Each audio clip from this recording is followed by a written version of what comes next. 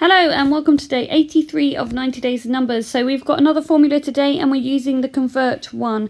So as you can see here, this is good for converting different measurements. So all we need to do is enter a cell, press the equals button and write the word convert. We then have the option, um, as you can see it will come up, um, to fill in a few different aspects. So the first one we're going to fill in is the number we want to convert. So um, I'm just going to put one in here for now um, to give us an example. And then you're going to put in the unit from that you want to convert to. So for this first example, I'm going to put YD for yard. You notice I've got the speech marks around it. That's because I need it to be that instead of going on to a different um, function. So you need to make sure you put the speech marks around them. And then when you press enter, it will convert one yard to a foot, which is an FT.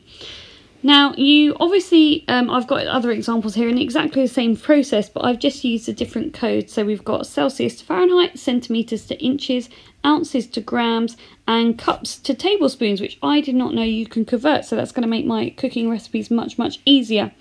Um, obviously, one of the major things to do this and for it to work properly is that you need to know the codes. So I've added some of the codes here that you can find.